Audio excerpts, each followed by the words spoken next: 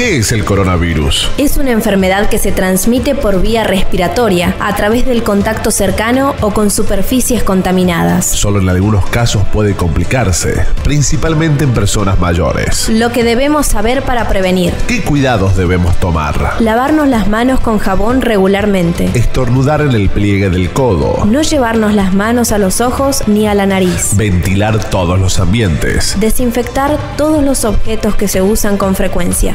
¿Cuáles son los síntomas? Si tenés fiebre con tos o con dolor de garganta, fiebre con dificultad para respirar, Si estuviste en un país con circulación del virus o en contacto con algún caso confirmado, no te automediques. Consulta inmediatamente al sistema de salud. 0800 888 4767. Para más información, entra en www.argentina.gov.ar. Municipalidad de Palpalá, de todos.